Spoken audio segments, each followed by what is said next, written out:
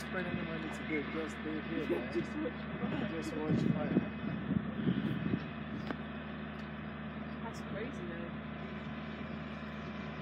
It's quite dangerous. It's quite